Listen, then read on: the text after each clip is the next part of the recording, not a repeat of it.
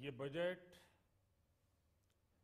सौ साल की भयंकर आपदा के सौ साल की।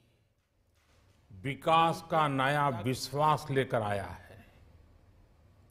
ये बजट अर्थव्यवस्था को मजबूती देने के साथ ही सामान्य मानवी के लिए अनेक नए अवसर बनाएगा।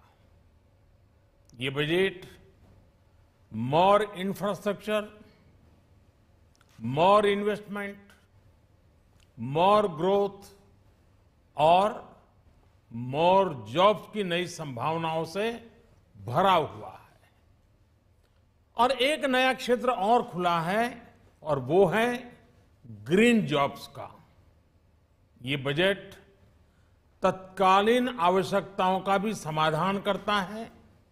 और देश के युवाओं के उज्जवल भविष्य को भी सुनिश्चित करता है। ये पिछले कुछ घंटों से देख रहा हूँ, जिस प्रकार से इस बजट का हर क्षेत्र में स्वागत हुआ है, सामान्य मानवी की जो सकारात्मक प्रतिक्रिया आई है, उसने जनता जनार्दन की सेवा का हमारा उत्साह अनेक गुना बढ़ा दिया है। जीवन के हर क्षेत्र में आधुनिकता आए, टेक्नोलॉजी आए, जैसे किसान ड्रोन हो, वंदे भारत ट्रेन हो, डिजिटल करेंसी हो, बैंकिंग के क्षेत्र में डिजिटल यूनिट्स हो, फाइव सर्विसेज़ का रोल आउट हो, नेशनल हेल्थ के लिए डिजिटल इकोसिस्टम हो, इनका लाभ हमारे युवा, हमारे मध्यम वर्ग, गरीब, दलित, पिछड़े, ये सभी वर्गों को मिलेगा। इस बजट का एक महत्वपूर्ण पहलू है गरीब का कल्याण। हर गरीब के पास पक्का घर हो, नल से जल आता हो, उसके पास शौचालय हो गैस की सुविधा हो, इन सभी पर विशेष ध्यान दिया गया है। इसके साथ ही आधुनिक इंटरनेट कनेक्टिविटी पर भी उतना ही ज़ोर है। जो भारत के पहाड़ी क्षेत्र हैं, हिमालय का पूरा पट्टा, जहाँ जीवन आसान बने, वहाँ से पलायन ना हो इसे ध्यान में रखते हुए भी नई घोषणा की गई है। हिमाचल, उत्तराखंड, जम्मू कश्मीर, नॉर्थ ईस्ट, ऐसे क्षेत्रों के लिए पहली बार देश में पर्वतमाला योजना शुरू की जा रही है। ये योजना पहाड़ों पर ट्रांसपोर्टेशन और कनेक्टिविटी की आधुनिक व्यवस्था का निर्माण करेगी और इससे हमारे देश के जो सीमावर्ती गाँव है, बॉर्डर के गाँव है, जिसका वाइब्रेंट होना ज़रूरी है, जो देश की सिक्योरिटी के लिए भी आवश्यकता है, उसको भी बहुत बड़ी ताकत मिलेगी। भारत के कोटि कोटि जनों की आस्था, माँ गंगा की सफ़ाई के साथ साथ किसानों के कल्याण के लिए एक महत्वपूर्ण कदम उठाया गया है।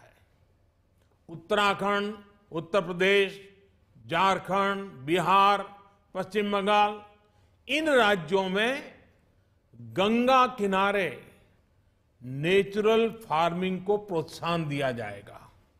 इससे माँ गंगा की सफ़ाई का जो अभियान है, उसमें माँ गंगा को केमिकल मुक्त करने में भी बहुत बड़ी मदद मिलेगी।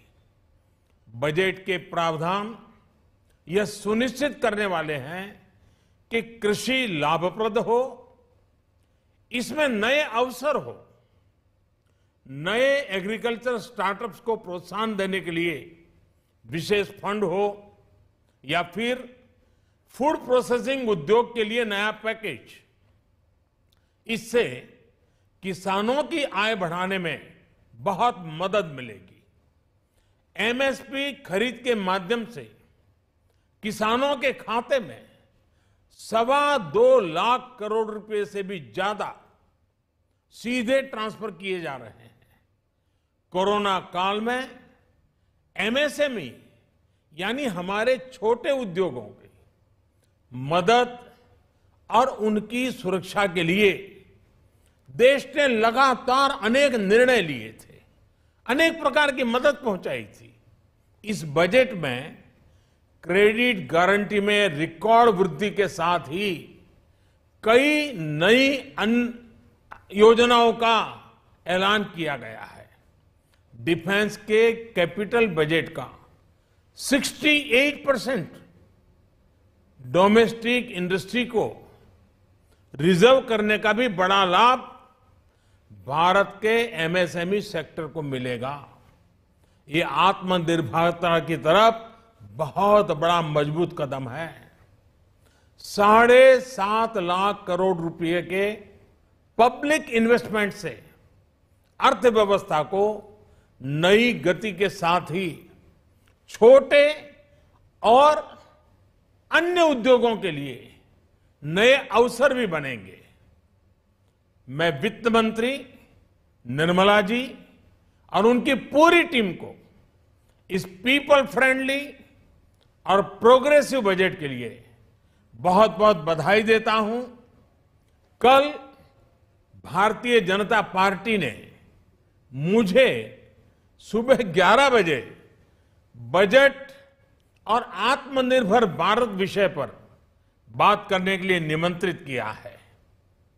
कल 11 बजे मैं बजट के इस विषय पर विस्तार से बात करूँगा।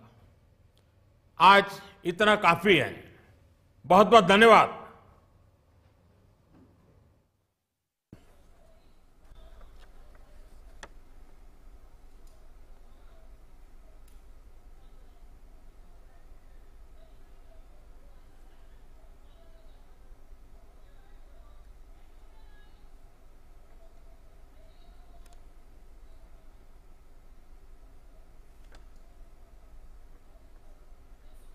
तो बजट के बाद में पहली प्रतिक्रिया प्रधानमंत्री नरेंद्र मोदी की। उन्होंने साफ़ तौर से कहा कि जो जो बजट है वो